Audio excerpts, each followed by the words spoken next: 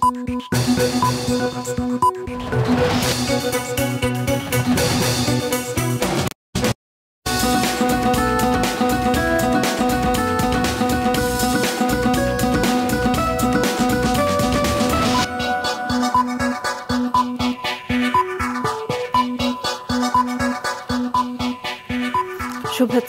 সবাইকে স্বাগত দুপুরের মাছরাঙা সংবাদে। আপনাদের সঙ্গে আছে আমি খালেদা আক্তার, শুরুতেই জানিয়ে দিচ্ছি গার্ডিয়ান লাইফ ইন্স্যুরেন্স সংবাদ শিরোনাম। ঈদযাত্রার প্রথম দিনেই ট্রেন ছাড়তে দেরি, চার মিনিটেই শেষ অনলাইন টিকিট। সব ঘাটে যানবাহনের চাপ, ভোগান্তি যাত্রীদের। হাওড়ে ধান কাটতে বাড়তি মজুরি, লোকসানে কৃষক। বাদ কাটায় নেত্রকোনায় সাবেক ইউপি চেয়ারম্যানের বিরুদ্ধে মামলা।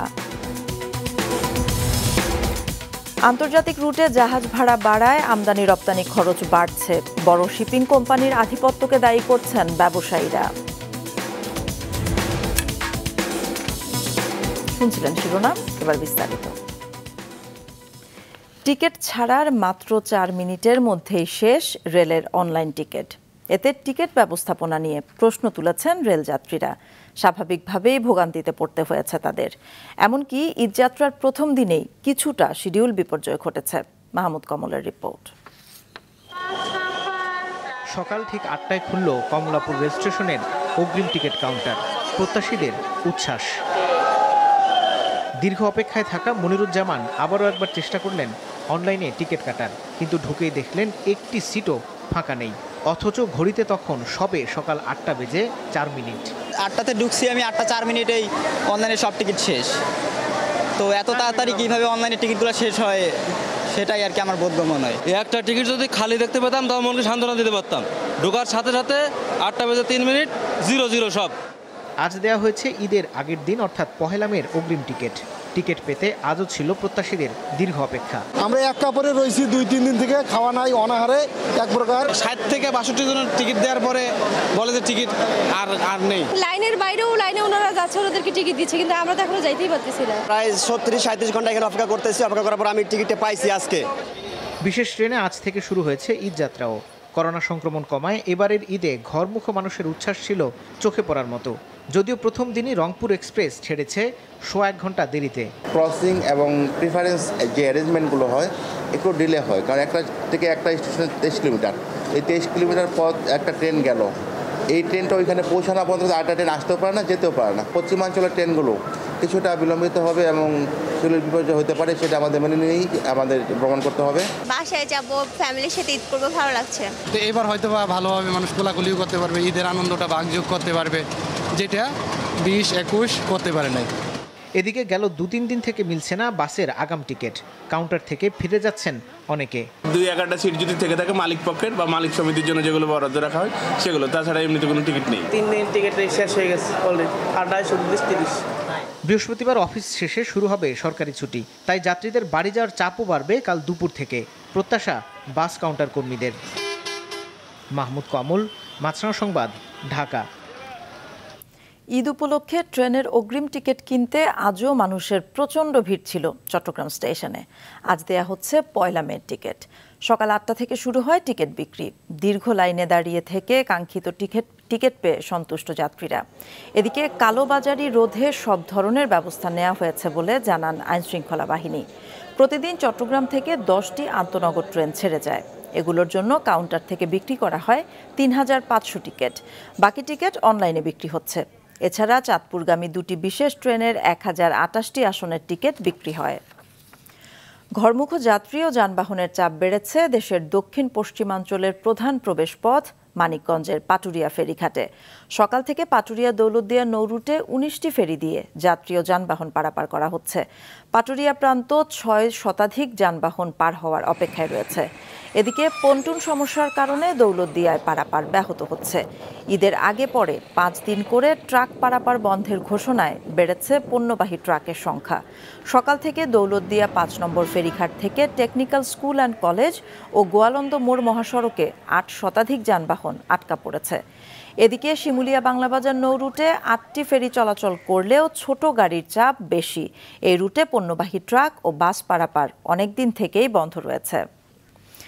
এদিকে ঢাকা টাঙ্গাইল মহাসড়কের চন্দ্রা এলাকা এবং ঢাকা ময়মনসিংহ মহাসড়কের গাজীপুর অংশে যানবাহনের চাপ বেড়েছে। সকাল থেকে চন্দ্রা এলাকায় উত্তরবঙ্গগামী যানবাহনের চাপ বাড়ায়, গাড়ি চলছে ধীর গতিতে। যানবাহনের চাপ বেশি রয়েছে ঢাকা ময়মনসিংহ মহাসড়কের আবদুল্লাপুর থেকে চান্দনা চৌরাস্তা পর্যন্ত। অনেকে জীবনের ঝুঁকি নিয়ে পিক ভ্যানে ছুটছে বাড়ি। যাত্রীদের অভিযোগ, বিভিন্ন যাত্রীবাহী বাসে অতিরিক্ত ভাড়া আদায় করা হচ্ছে। সড়কের নিরাপত্তা রক্ষায় অতিরিক্ত পুলিশ মোতায়েন করা হয়েছে।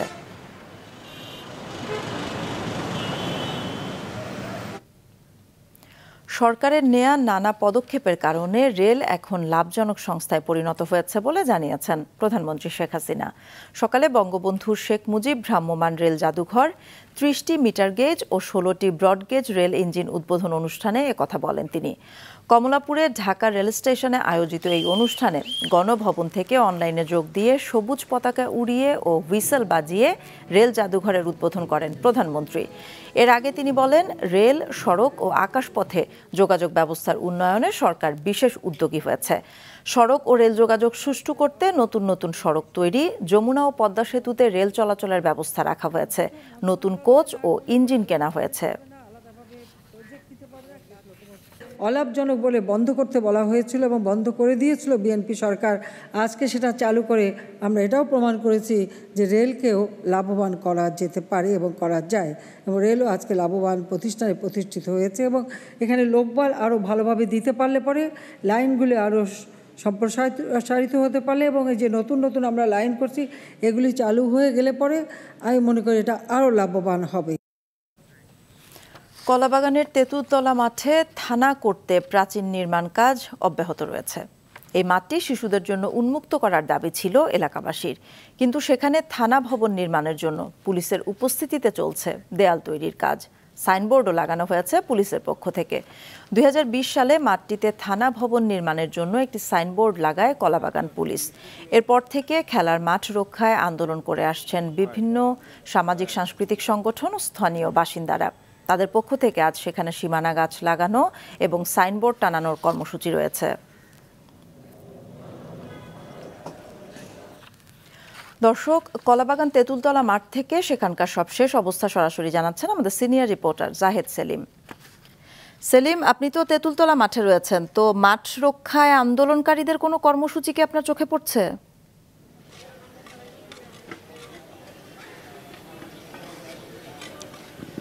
খালেদা, আমি সকাল থেকেই তেঁতুলতলা মাঠ এলাকায় অবস্থান করছি। কিন্তু সকালে এখানে আসার পরে কিন্তু আমি আন্দোলনকারীদের কাউকে দেখতে পাইনি। তবে আমরা দেখছি যে এখন দুপুর এই সময় কেউ কেউ আসতে শুরু করেছেন। কারণ এরই মধ্যে আমরা খবর পেয়েছি স্বরাষ্ট্র মন্ত্রণালয়ের মাননীয় স্বরাষ্ট্রমন্ত্রীর সঙ্গে আন্দোলনকারীদের একটা গ্রুপ সেখানে আলোচনা করবেন এবং পাশাপাশি আরেকটা গ্রুপ এখানে দুপুরে থাকার কথা, তবে তারা এরই মধ্যে আসতে শুরু করেছেন। আমার আপনাকে যদি একটু বলি আমি যে মাঠের কাজ তৈরির জন্য যে প্রাচীর নির্মাণ, সেই কাজটি কিন্তু এখন পর্যন্ত চলছে। কারণ আমরা সকাল থেকে এখানে পুলিশ সদস্যদেরকে দেখেছি, তারা এখানে রয়েছে এবং একই সঙ্গে প্রাচীন নির্মাণের যে কাজটুকু, সেটা কিন্তু আসলে শুরু হয়েছে। তবে এখন যে আন্দোলনকারীরা আসছেন, তারা মিডিয়াতে কথা বলছেন, আমরা দেখতে পাচ্ছি এই মুহূর্তে। তবে হয়তো আরেকটু পরে আমরা এখানকার পুরো পরিস্থিতির বিষয়ে আপনাদেরকে জানাতে পারব। কারণ যে বৈঠকটা স্বরাষ্ট্র মন্ত্রণালয় হচ্ছে বলে জানিয়েছেন, এখানে আমরা জানতে পেরেছি। আর এখানে আরেকটা গ্রুপ রয়েছে, তারা কথা বলে এখানে কিন্তু আজকে গাছের চারা রোপণ করার কথা। সেটি আমরা হয়তো দুপুরের পর নাগাদ দেখতে পাবো। খালেদা, এই ছিল আমার কাছে সর্বশেষ। সেলিম, আপনাকে অসংখ্য ধন্যবাদ। ধান কাটতে শ্রমিকদের বাড়তি মজুরি দিতে হচ্ছে সুনামগঞ্জের হাওড়াঞ্চলের কৃষকদের। একদিকে, এদিকে নেত্রকোনায় বাঁধ কাটার অভিযোগে সাবেক ইউপি চেয়ারম্যান লোকমান হাকিমের বিরুদ্ধে মামলা করেছে পানি উন্নয়ন বোর্ড। ডেস্ক রিপোর্টে বিস্তারিত। একে তো ফসল না পাওয়ার কষ্ট, তার উপর আধা পাকা ধান কাটতে শ্রমিকদের বাড়তি মজুরি। এ যেন মরার উপর খাড়ার ঘা সুনামগঞ্জের হাওড় অঞ্চলের কৃষকদের। অন্যান্য সময় এক বিঘা জমির ধান কাটতে প্রতি শ্রমিকের জন্য পাঁচশো টাকা লাগলেও পানিতে তলিয়ে থাকা ধান কাটতে দিতে হচ্ছে আটশো টাকা। শুধু তাই নয় শ্রমিক সংকটে বিভিন্ন জেলা থেকে শ্রমিক আনায় গুনতে হচ্ছে তাদের পরিবহন খরচও। এখনও অন্তত পঞ্চাশ ভাগ ধান কাটা বাকি জেলার হাওড়াঞ্চলের দাবি কৃষকদের। যে জায়গার মধ্যে জমিন করছিলাম উনিশ কেয়ারের মতন বুঝছেন? করার বাদে আপনার গৃহস্থে আমরা আটশো টাকা লইছুন গৃহস্থর মন না আমরা মন তার নিয়ে দিতে পারলাম না। অত অত জমিন করছে, ওর জমিন ওর দান ফেরায় না। এদিকে উজানের ঢলে গেল বিশে এপ্রিল থেকে এ পর্যন্ত ধসে গেছে সুনামগঞ্জের হাওরের অন্তত একত্রিশটি বাঁধ। বাকি বাঁধগুলো টিকিয়ে রাখতে, ঝুঁকিপূর্ণ অংশ চিহ্নিত করে তাৎক্ষণিকভাবে সংস্কার করতে এলাকাবাসীর প্রতি আহ্বান জানিয়েছেন জেলা প্রশাসক। যে কোথায় কোন জায়গায় ফাটল দেখা দিচ্ছে অথবা কোথায় লিখে যাচ্ছে সেটি যদি তাড়াতাড়ি করে মানে প্রশাসনকে জানানো হয়, উপজেলা চেয়ারম্যানকে জানানো হয়, তাহলে ইউনিয়ন চেয়ারম্যানকে জানানো হয়, তাৎক্ষণিক আমরা সেই ব্যবস্থাটা নিতে পারব। অন্যদিকে নেত্রকোনার খালিয়াজুড়িতে পেটনার বাঁধ কেটে দেওয়ার ঘটনায় গতরাতে মেন্দিপুর ইউনিয়নের সাবেক চেয়ারম্যান লোকমান হেকিম সহ অজ্ঞাত পনেরো জনের বিরুদ্ধে মামলা করেছেন পানি উন্নয়ন বোর্ডের উপসহকারী প্রকৌশলী ওবায়দুল হক। এরই মধ্যে পেটনার বাঁধ সংস্কার করা হয়েছে। যে যে পোর্শনটিতে আমাদের দুষ্কৃতিকারীরা বাঁধটি কেটে দিয়েছিল, আমরা ইতিমধ্যে গতকালকে আমরা বন্ধ করতে পেরেছি। সোমবার রাতে মাছের জলমহালে পানি ঢোকাতে বাঁধটি কেটে দিয়েছিলেন লোকমান হেকিম। এতে হাওরের কয়েকশো হেক্টর জমির ফসল তলিয়ে যাওয়ার আশঙ্কা দেখা দেয়। Nadia Afrin, Maasranga news desk. আন্তর্জাতিক রুটে পণ্যবাহী জাহাজের ভাড়া বেড়েই চলেছে, যা বাড়িয়ে দিচ্ছে আমদানি রপ্তানির খরচও। ব্যবসায়ীদের অভিযোগ, বড় শিপিং কোম্পানিগুলোর আধিপত্যের কারণেই এমনটি হচ্ছে। নাজমুল সাদেকের রিপোর্ট, ক্যামেরায় ছিলেন রবিউল টিপু। দেশের বৈদেশিক বাণিজ্যের প্রায় পুরোটাই হয় সমুদ্রপথে। আমদানি কিংবা রপ্তানি, যেটাই হোক, পণ্য আনা বা নেয়া দুটোই হয় জাহাজে। এক একটি চল্লিশ ফুটের কন্টেইনারে চট্টগ্রাম থেকে ইউরোপ বা যুক্তরাষ্ট্রে পণ্য পাঠাতে দুই বছর আগে খরচ পড়ত সর্বোচ্চ তিন হাজার ডলার, যা এখন আঠারো হাজার ডলার ছাড়িয়েছে। বড় কোম্পানিগুলো, আমি বলব যে তারা একটু মনোপলি করেছে এখানে বিকজ তারা কোনো যুক্তিতেই তিন হাজার ডলারের, আড়াই হাজার ডলারের ফ্রেট কস্ট পনেরো হাজার, বিশ হাজার ডলার হতে পারে না। ফ্রেড ফরওয়ার্ডাররা বলছেন বছর পাঁচেক আগেও পঁচিশটির বেশি আন্তর্জাতিক জাহাজ কোম্পানি ব্যবসা করত এদেশে। কিন্তু তাদের অনেকেই একীভূত হওয়ার কারণে এখন তা কমে দশ থেকে বারোটিতে দাঁড়িয়েছে। তিনটা বড় বড় শিপিং লাইন মিটসোয়েসকে কে লাইন এবং এনওয়াই কে লাইন। তিনটা মিলে কিন্তু এখন একটা লাইন হয়েছে ওয়ান লাইন। অনেক বড় বড় শিপিং লাইন ছিল। তারা কিন্তু সবাই মিলে কিন্তু মার্চ করে করে অনেকগুলো শিপিং এক জায়গায় নিয়ে আসে। তাতে করে দেখা গেছে শিপিং লাইনের যে সংখ্যা, সেটা কিন্তু কমে গেছে। তারা ইচ্ছামতো তাদের যে ফ্লাইটগুলো আছে, তারা কিন্তু তারা বাড়িয়ে নিচ্ছে। কিন্তু এটা আসলে উচিত না। দেশের আমদানি, রপ্তানি, বাণিজ্যে খরচ সাশ্রয়ের জন্য বড় শিপিং লাইনারগুলোর উপর নির্ভরশীলতা কমাতে দেশীয় উদ্যোক্তাদের সহায়তা ও সরকারকে উদ্যোগী হবার কথা বলছেন সংশ্লিষ্টরা। বাংলাদেশ থেকে সরাসরি জাহাজের ব্যবহার করা যায় কিনা ইউরোপ এবং আমেরিকাতে। দেশের অনেক বড় বড় ব্যবসায়ী আছেন যারা কিন্তু নিজ উদ্যোগেই কিন্তু এই ধরনের পরিবহনের ব্যবস্থাটা শুরু করতে পারেন। অবকাঠামো এবং পেপার যদি সে ফ্যাসিলিটিগুলো দেওয়া হয় যে, তাদেরকে, যে জাহাজ ব্যবসায়ীদেরকে, আমার মনে হয় খুব শীঘ্রই এই ধরনের একটি বিকল্প ব্যবস্থা কিন্তু গড়ে উঠতে পারবে। এরই মধ্যে এমভি সুঙ্গাচিতা ও কে ফ্লোরেস নামের দুটি জাহাজে চট্টগ্রাম বন্দর থেকে ইতালিতে সরাসরি পণ্য রপ্তানি শুরু হয়েছে। নাজমুল সাদেকি মাছরাঙ্গা সংবাদ, চট্টগ্রাম। সিন্ডিকেট করার অপচেষ্টার কারণে সমঝোতা স্মারক সইয়ের পরেও মালয়েশিয়ায় কর্মী পাঠানো যাচ্ছে না বলে অভিযোগ করেছেন রিক্রুটিং এজেন্সির মালিকরা। সকালে জাতীয় প্রেস ক্লাবের সংবাদ সম্মেলনে যারা এমন অপচেষ্টা করছে, তাদের চিহ্নিত করে শাস্তির আওতায় আনার দাবি জানিয়েছেন তারা। রিক্রুটিং এজেন্সিগুলোর সংগঠন বাইরার সাবেক নেতারা বলেন, মালয়েশিয়া তেরোটি দেশ থেকে সিন্ডিকেট ছাড়া কম খরচে সব প্রতিষ্ঠানের মাধ্যমে কর্মী নিচ্ছে। তবে বাংলাদেশ থেকে কর্মী নেয়ার ক্ষেত্রে মূলত পঁচিশটি প্রতিষ্ঠানের কথা বলছে এক গোষ্ঠীর অপতৎপরতার কারণে। এমনটা হলে আগের মতো ক্ষতিগ্রস্ত হবেন কর্মীরা বাড়বে অভিবাসন খরচ। কেন খুলছে না আনএথিক্যাল একটি প্রস্তাব দেওয়া হয়েছিল। পঁচিশটি লাইসেন্সে নিয়ে এটিও একটি কারণ। এদের যদি নাম আসে চিহ্নিত করে এদের বিরুদ্ধে রাষ্ট্রের রাষ্ট্রদ্রোহিতার মামলা প্লাস ওদের লাইসেন্স বাতিল এবং ওদের বিরুদ্ধে আইনগত ব্যবস্থা নেওয়ার জন্য। অতীতে যারা দশ সিন্ডিকেট করেছিল তাদের দুই একজন ছাড়া এই পঁচিশ সিন্ডিকেটে সবাই রয়েছে। এই সিন্ডিকেটকারীদের আমরা দৃষ্টান্তমূলক শাস্তি চাই। বাবা মায়ের পরিচয় না থাকায় পথ শিশুদের বিশ্বকাপে অংশগ্রহণ নিয়ে শঙ্কায় পড়েছে বাংলাদেশের দলটি। পারিবারিক আদালত থেকে অনুমতি পেলেও পাসপোর্ট নিয়ে জটিলতা কাটছে না তাদের। আফসানা কান্তার রিপোর্টে বিস্তারিত ছবি তুলেছেন মাহাদি হাসান। নাম তার ইতি। সৎ মায়ের নির্যাতন আর অভাবের কারণে ভৈরব থেকে শিশু বয়সী পালিয়ে কমলাপুর রেল স্টেশনে ভিক্ষা শুরু করেন। সেখান থেকে তুলে আনে বেসরকারি উন্নয়ন সংস্থা লিডো। পরিবার থেকে বিচ্ছিন্ন আলিয়া আফরিনের মতো দলটির ১৩ জনের উঠে আসার গল্প প্রায় একই রকম। যারা প্রস্তুত হচ্ছে আগামী অক্টোবরে কাতারে স্ট্রিট চিলড্রেন ওয়ার্ল্ড কাপ ফুটবলে বাংলাদেশের প্রতিনিধিত্ব করতে। ফিফা ও কাতার ফুটবল অ্যাসোসিয়েশনের সহযোগিতায় একুশটি দেশের অংশগ্রহণে আন্তর্জাতিক সংস্থা স্ট্রিট চিলড্রেন ইউনাইটেড চতুর্থবারের মতো এই আয়োজন করছে।